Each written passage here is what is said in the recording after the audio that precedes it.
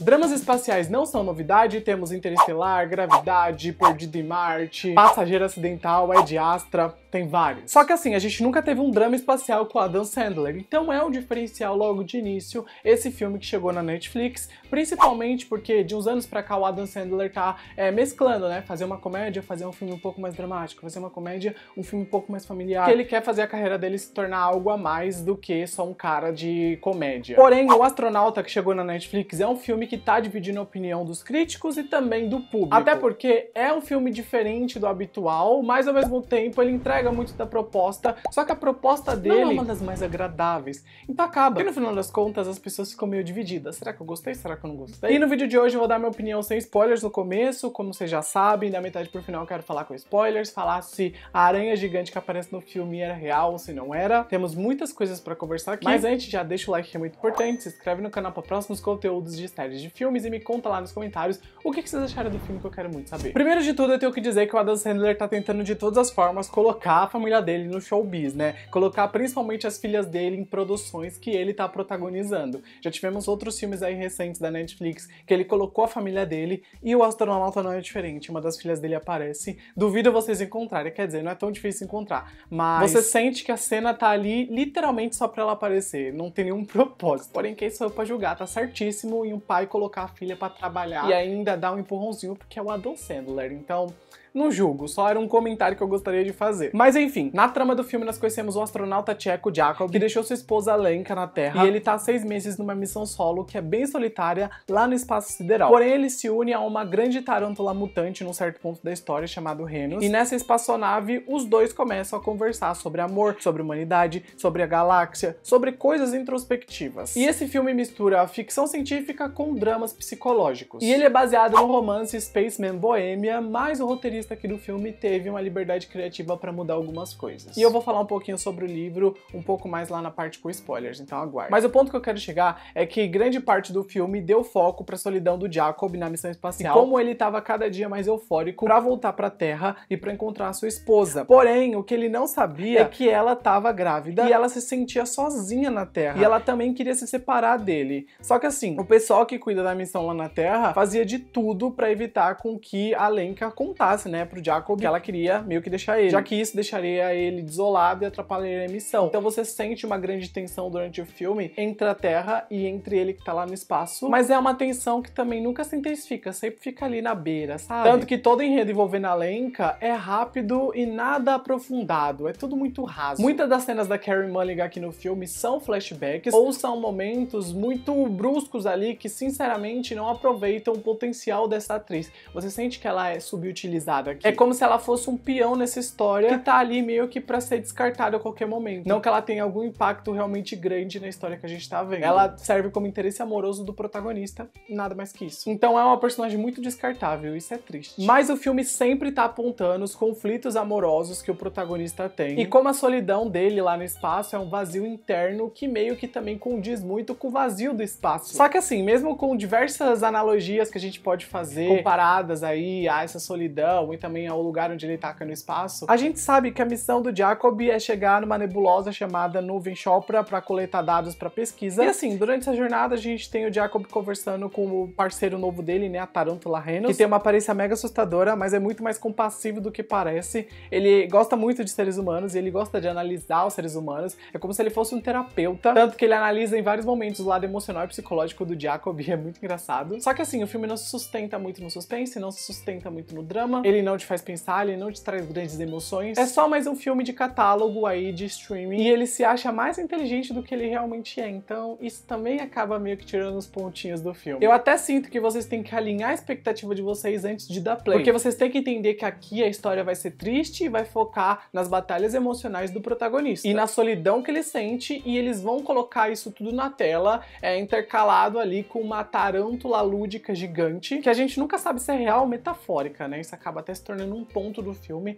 que no final você fica, tá, é, o que seja também eu não ligo. E aí você simplesmente esquece, mas eu vou falar um pouquinho mais sobre isso na parte com spoiler. Porém, o Adam Sandler é tão bom nesse papel que torna o filme um pouco melhor do que ele realmente é. Então ele passa uma impressão muito boa pra gente que tá assistindo, já que ele entrega nuances necessárias pra gente simpatizar com esse personagem. Então acaba que se você olhar o todo, esse filme é mais focado na performance do Adam do que em si no roteiro. Já a nossa aranha gigante de CGI é tão bem dublada com uma voz suave que você dificilmente vai sentir que ela é uma ameaça, mesmo que o design ficou muito bom e realmente ameaçador. A propósito, o CGI do filme, de um modo geral, tá bem agradável, gostei, não tenho ressalvas, e a trilha sonora também criou uma atmosfera legal necessária para algumas cenas, mas nada muito uau. Sempre fica, como eu disse, da maneira mais rasa possível aqui. E se assistiu até esse ponto, coloca uma aranha nos comentários para eu saber que você viu até esse momento. Mas para concluir, eu não achei o filme ruim, achei o filme mediano, tem um ritmo lento, é, o público que vai assistir vai ter que se esforçar um pouco para não pegar o celular enquanto estiver assistindo. É um filme que você vai ter que fazer um esforço maior, mas no final das contas é aquele filme que você dá play no fim de noite. Acho que vai ser divertidinho, sabe? Mas me conta aí nos comentários se você pretende assistir, deixa o like que é muito importante, e se inscreve aqui para mais conteúdo de séries de filmes. E a partir de agora vamos falar com spoilers, que eu quero falar se a aranha era real ou não,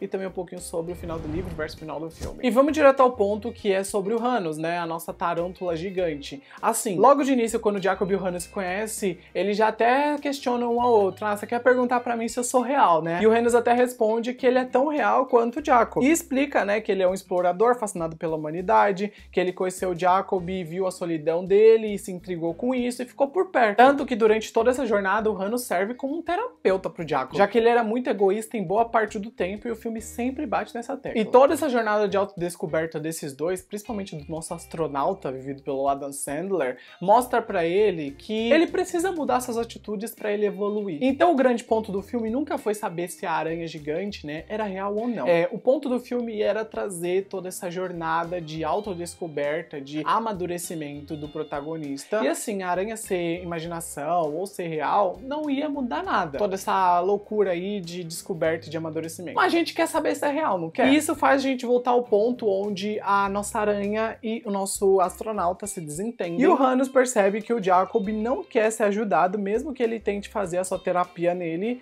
Entretanto, depois do Hanus ir embora e o Jacob ficar solitário novamente, ele percebe o quão importante é ter alguém do seu lado para te ouvir, para te aconselhar e para te amparar. Então ele liga para a Terra e tenta resolver, né, os problemas que ele tinha com a Lenka. Porém, isso não dá muito certo, mas isso acaba meio que fazendo o Hanus perceber que o Jacob percebeu a mensagem que ele queria passar e ele tentou mudar. Então o Hanus volta para a nave e os dois partem para Chopra. Só que antes disso, o Hanus admite que tá morrendo e em breve vai ser comido pelos Goron Pet, as criaturas parasitas que estavam dominando o planeta dele antes dele fugir. Enquanto Jacob chega na nebulosa de Chopra e tenta coletar amostras, o Hanus parte e o Jacob se sente desamparado, né? Ele não quer ficar sozinho. Então ele acaba seguindo o Hanus e eles dois se dirigem para a nuvem de poeira que contém todo o tempo, desde o início até o fim do universo. E agora que ele chegou onde ele sempre quis chegar, o próprio Hanus faz a pergunta pro Jacob: Você chegou onde você queria, mas o que falta aqui? O que falta nesse final da linha, né? Nesse final aí da sua jornada? E ele responde que ela não tava lá, que era a mulher que ele amava. E nesse momento, Jacob se lembra do primeiro encontro com a Lenka e ao mesmo tempo a Lenka vê uma partícula da nuvem de poeira lá na Terra e se conecta com o Jacob através do espaço-tempo na mesma reimaginação. Os dois lembram do primeiro encontro juntos. E nesse ponto, Renos é comido pelos Garonpads e acaba morrendo em consequência disso. Já o Jacob é salvo por uma nave ali, é que também vem investigar Chopra. E no final do filme, o Jacob fala novamente com a Lenka e parece que eles vão ter um futuro, né? Então a mensagem do filme era basicamente ele se reconectar com essa mulher que ele ama só que ele só fez isso por conta da tarântula gigante, que foi bizarra. E eu achei toda essa cena final do primeiro encontro, né, desse toque aí dos dois nesse negócio, totalmente sem nexo, mas já tinha uma aranha gigante nesse filme, então a coisa mais sem nexo não foi nem essa. Mas de um modo geral, acaba que a aranha ser real ou não sempre foi relevante, já que o Jacob precisava no final das contas rever tudo que ele já fez e corrigir os seus erros e melhorar. E no livro fica evidente que o Renos é real, até porque o Jacob conhece outro astronauta que fala que conversou com o Renos. Porém, o diretor deixou claro pro Radio Times que ele não queria colocar uma explicação se era real ou não. Ele diz que a beleza do filme é o impressionismo que existe nele. E que ele mostrou o filme pros amigos e alguns falaram que era real, outros falaram que era imaginação. E um monólogo interior, né, dentro do próprio Jacob. E o mais engraçado de tudo é que o próprio design de produção do filme disse que o Jacob tá, na verdade, sentado na sua casa em Praga, sentindo-se deprimido, porque a esposa dele o deixou e tudo isso tá rolando só dentro da cabeça dele. Eu achei essa a melhor explicação, mas para mim a aranha era real. É, na minha cabeça, eu acho que faz sentido todo esse rolê da aranha, ele encontrar algo no espaço, até porque não tinha outras pessoas ali com ele. Então, pode ser real, pode não ser, mas para mim era real. Mas ao mesmo tempo também poderia ser da cabeça dele, faria muito sentido. Mas eu gosto de acreditar que era real e é isso. E vocês acham que era real ou não? Coloca nos comentários que eu quero muito saber. E embora o final do filme seja muito otimista, né, pro futuro do Jacob e da Lenka, o final do livro é bem diferente. Já que a nave do Jacob chega em show pra ir explode, e o Jacob se contenta em passar seus momentos finais ali com o Hanos no espaço, mas ele é resgatado por uma nave russa, e os russos falam que vão levar ele pra Terra e prender ele. Só que uma pessoa que já tinha conversado com o Hanos nessa nave é, acaba ajudando ele a fugir e é um dos únicos sobreviventes, na verdade, ele acaba se tornando no final das contas. E depois dessa destruição dessa nave de um programa secreto russo, todo mundo é declarado morto, incluindo Jacob, que volta pra Terra e ali começa a viver sozinho, sem falar para ninguém que ele estava vivo, incluindo a Lenka, que não sabe porque ele acha que ela viveria melhor sem ele. E ele volta para sua casa de infância para passar o seu resto da vida ali naquele local. E o diretor acabou falando que esse final do livro era menos esperançoso e depois de tanta tristeza durante o filme, ele queria um final mais otimista. Então ele queria dar uma centelha de esperança para essa história e foi basicamente isso que ele fez com esse final, que foi um pouco mais é, animador do que seria essa forma que acabou o livro, né? Mas era isso que eu tinha pra falar sobre o filme O Astronauta. Me contem se gostaram do vídeo, se gostaram do filme, o que acharam do final. Acham que a Eren era de verdade ou não? Coloca tudo nos comentários. Clica no like que é muito importante, se inscreve para mais conteúdos. Eu fico por aqui, grande beijo tchau, gente.